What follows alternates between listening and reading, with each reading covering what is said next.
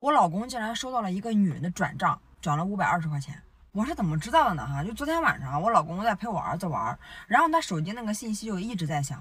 我老公说：“你去看看。”结果我打开手机，就看到了。而且你们知道吗？这女的，你们猜是谁？是我老公的前女友。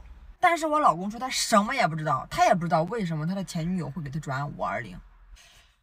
说实话哈，当时我有点懵，我就觉得，你说我老公是零花钱不够，不好意思跟我说吗？然后我就把我的一张卡塞到我老公手里了。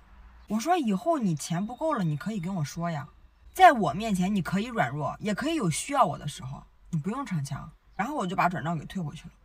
你说吧，这事儿也怪我，男人在外面身上本来就不能缺钱，这事儿确实也是我疏忽了。然后我老公就一直一个劲儿的解释，一个劲儿的解释。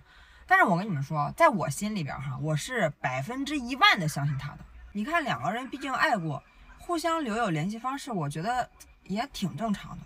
而且每个人都有过去，但是在我心里那只是过去，那是我没来得及参与。你说我也不能怪他呀。如果真是我想的那样，我跟你们说，我还真的挺感谢我老公的前女友的。